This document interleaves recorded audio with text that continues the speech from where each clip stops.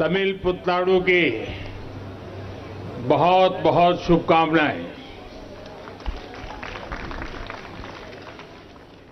ये आप सबका प्यार है।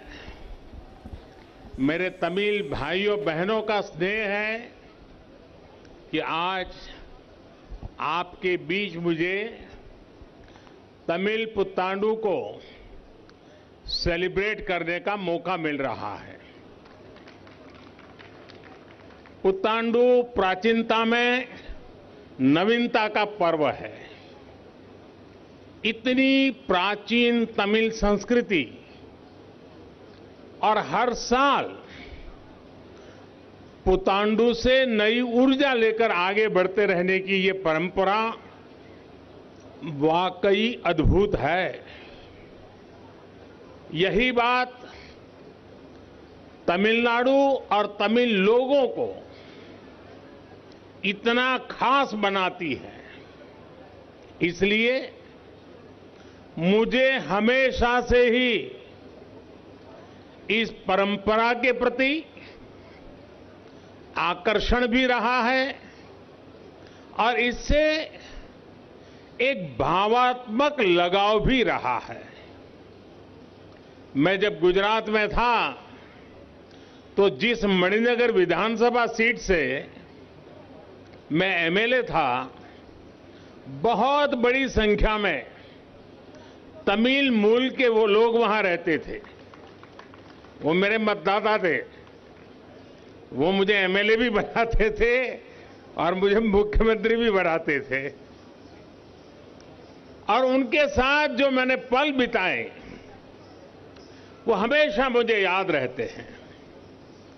ये मेरा सौभाग्य है कि जितना प्यार मैंने तमिलनाडु को किया है, तमिल लोगों ने हमेशा उसे और ज़्यादा करके मुझे वापस लौटाया है।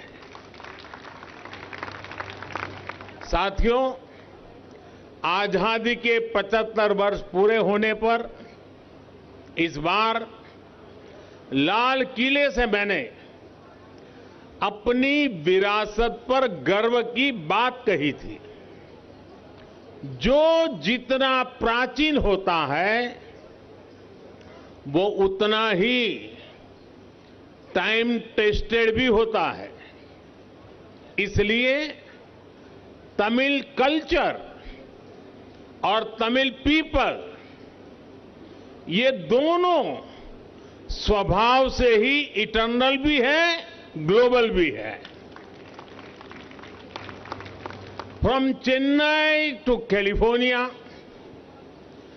from Madurai to Melbourne from Coimbatore to Cape Town from Salem to Singapore you will find Tamil people who have carried with them their culture and traditions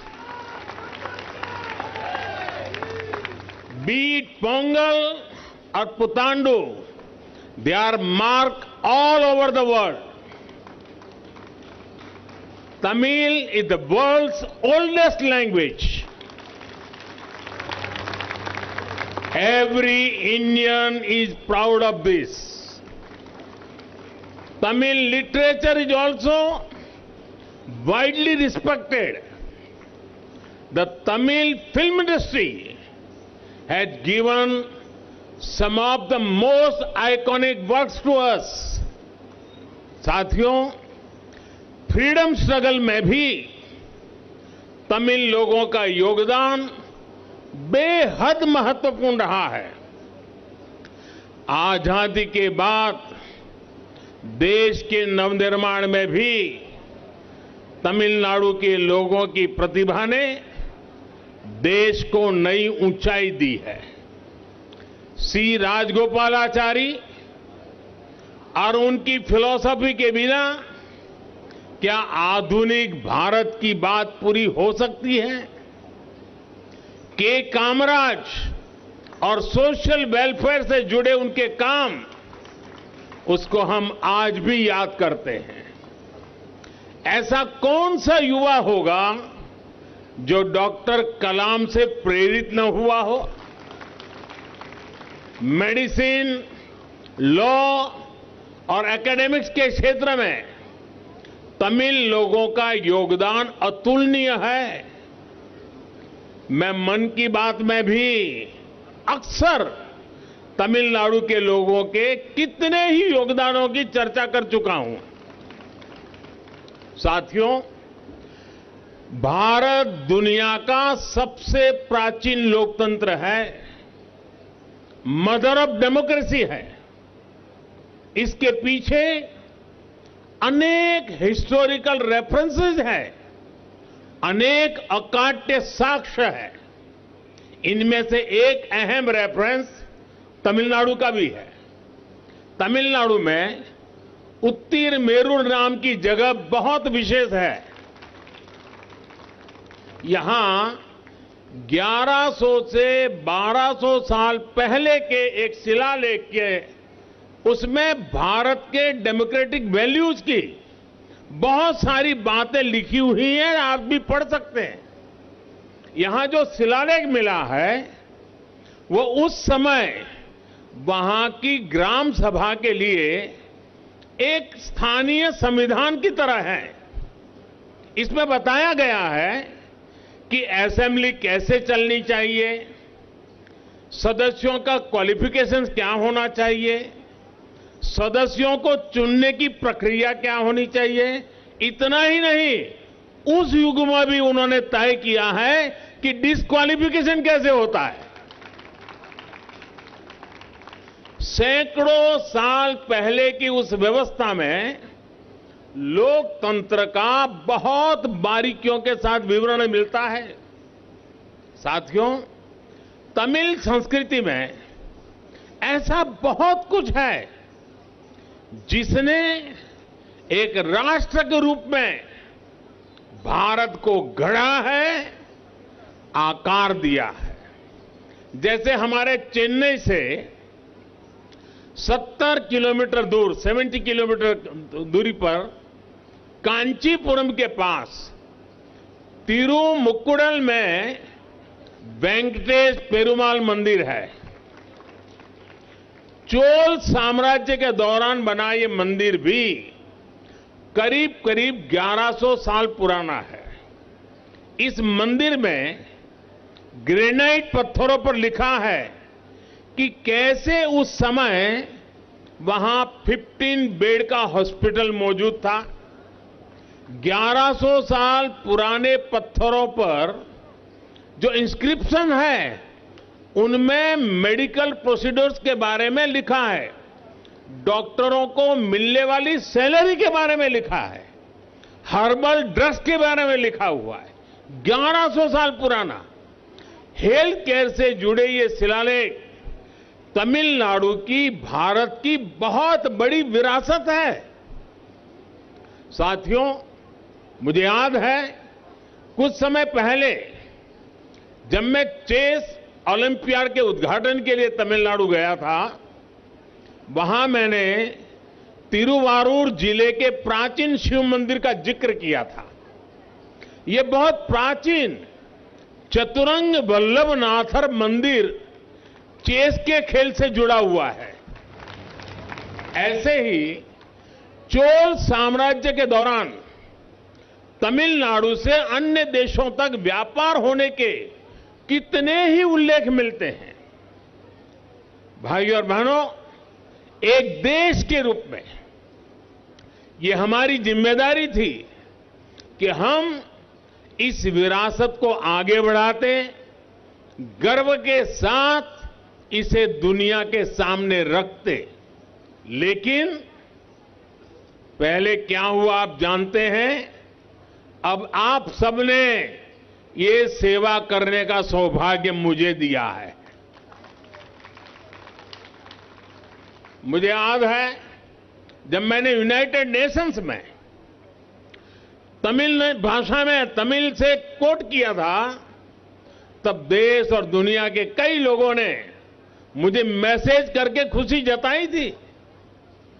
मुझे जाफना जाने का अवसर मिला था श्रीलंका में। जाफना जाने वाला मैं भारत का पहला प्रधानमंत्री था।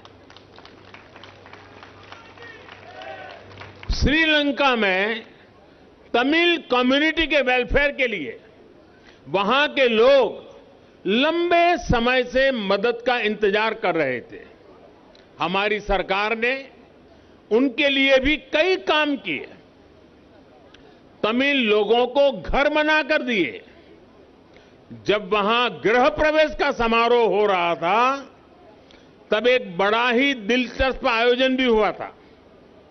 जैसे तमिल परंपरा है, गृह प्रवेश से पहले घर के बाहर लकड़ी पर दूध उबालने का एक कार्यक्रम होता है। मैंने उसमें भी हिस्सा लिया था और मुझे याद है, जब वो वीडियो तमिल में, तमिलनाडु में देखा गया इतना मेरे प्रति प्यार बरसाया गया। डगर डगर पर आप अनुभव करेंगे कि तमिल लोगों के साथ, तमिलनाडु के साथ मेरा मन कितना जुड़ा हुआ है। तमिल लोगों की निरंतर सेवा करने का ये भाव मुझे नई ऊर्जा देता है।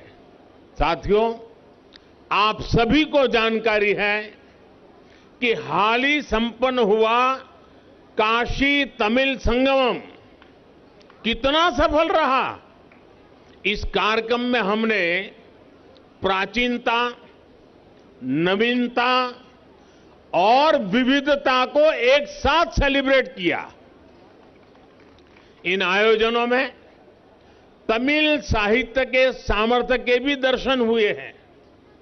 काशी में तमिल संगमम के दौरान कुछ ही समय में हज़ारों रुपए की तमिल भाषा की पुस्तकें बिक्री हुई थी। तमिल सिखाने वाली पुस्तकों के लिए भी वहाँ ज़बरदस्त क्रेज था। हिंदी भाषी क्षेत्र में और वो भी आज डिजिटल युग, ऑनलाइन की दुनिया, ऐसे समय काशी में हिंदी भाषी लोग तमिल किताबों को इस तरह पसंद किया जाना, हज़ारों रुपए की तमिल की किताबें खरीदना, ये हमारे देश के सांस्कृतिक कनेक्ट की सबसे बड़ी ताकत है दोस्तों। मैं मानता हूँ, तमिल लोगों के बिना, तमिल लोगों के बिना काशी वासियों का जीवन अधूरा है। और मैं काशीवासी हो गया हूँ। और काशी के बिना तमिल के लोगों का जीवन भी अधूरा है। ये आत्मीयता, जब कोई तमिलनाडु से काशी आता है तो सहज ही दिखाई देती है। काशी का सांसद होने के नाते ये मेरे लिए और भी गर्व की बात है। मैंने देखा है कि काशी में जो नौका चलाने वाले लोग हैं, शायद ही कोई ऐसा नौका चलाने वाला मिलेगा जिसको तमिल के पचास सौ वाक्य बोलना ना आता हो। इतना वहाँ पर मेलजोल है। ये भी हम सभी का सौभाग्य है कि बनारस हिंदू यूनिवर्सिटी में सुब्रमण्यम भारती जी के नाम पर एक चेयर की स्थापना की गई है।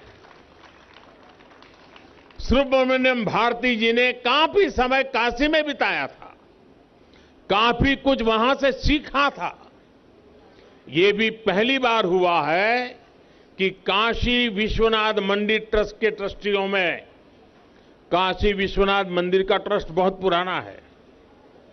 पहली बार पहली बार काशी विश्वनाथ ट्रस्ट का ट्रस्टी तमिलनाडु के एक महाशय को बना दिया गया है। ये भी प्यार है। ये सारे प्रयास एक भारत श्रेष्ठ भारत की भावना को मज़बूत करने वाले हैं। साथियों, तमिल लिटरेचर से हमें अतीत के ज्ञान के साथ ही भविष्य के लिए प्रेरणा भी मिलती है। तमिलनाडु के पास तो ऐसा लिटरेचर है जिसमें से काफ़ी कुछ 2000 साल से भी ज़्यादा पुराना है। जैसे कि संगम लिटरेचर से पता चला कि एंशियन तमिलनाडु में कई तरह के मिलेट्स श्री अन्न उपयोग में लाए जाते थे। प्राचीन तमिल साहित्य अग्नानूरू में मिलेट्स के खेतों के बारे में लिखा गया है। महान तमिल कवित्री अवैयार अपनी एक सुंदर कविता में, स्वादिष्ट वर्गु अरिसी छोरू, इसके बारे में लिखती हैं। आज भी अगर कोई ये पूछता है कि भगवान मुरुगन को नैवेद्य के रूप में कौन सा भोजन पसंद है? तो जवाब मिलता है, तेनुम तेने वामुम आज भारत की पहल पर पूरी दुनिया मिलेट्स की हमारी हज़ारों वर्ष पुरानी परंपरा से जुड़ रही है। मैं चाहूँगा कि आज हमारा एक न्यू ईयर रिजोल्यूशन मिलेट से भी जुड़ा हो। हमारा रिजोल्यूशन होना चाहिए कि मिलेट्स को हम वापस अपने खान पान में जगह देंगे और दूसरों को भी इसके लिए प्रेरित करेंगे। साथियों, अब से कुछ देर में यहाँ तमिल कलाकारों की परफॉर्मेंस भी होने वाली है। ये हमारी कला और संस्कृति की समृद्ध विरासत का भी प्रतीक है। ये हमारा कर्तव्य है कि हम इसे पूरी दुनिया तक लेकर जाएँ इसे शोकेस करें। साथ ही इन आर्ट फॉर्म्स का कैसे समय के साथ विस्तार हो, हमें इस पर भी ध्यान देना चाहिए। आज की युवा पीढ़ी में ये जितना ज़्यादा पॉपुलर होंगे, उतना ही वो इसे नेक्स्ट जनरेशन को पास करेंगे। इसलिए युवाओं को इस कला के बारे में बताना, उन्हें सिखाना ये हमारा सामूहिक दायित्व है। और मुझे खुशी है कि आज का ये आयोजन इसका भी एक बेहतरीन उदाहरण बन रहा है। भाई और बहनों, आज़ादी के अमृत काल में हमारी ये ज़िम्मेदारी है कि हम अपनी तमिल विरासत के बारे में जानें और देश और दुनिया को गर्व के साथ बताएँ। ये विरासत हमारी एकता और राष्ट्र प्रथम की भावना का प्रतीक है। हमें तमिल कल्चर, लिटरेचर, लैंग्वेज और तमिल ट्रेडिशन को निरंतर आगे बढ़ाना है। इसी भावना के साथ मैं अपनी बात समाप्त करता हूँ। एक बार फिर आप सबको पुतांडू की बहुत बहुत बधाई देता हूँ। और मुर्गुन जी का भी धन्यवाद करता हूँ कि आज मुझे इस महत्वपूर्ण अवसर में शरीक होने का मौका दिया। आप सबको बहुत बहुत शुभकामनाएँ, धन्यवाद।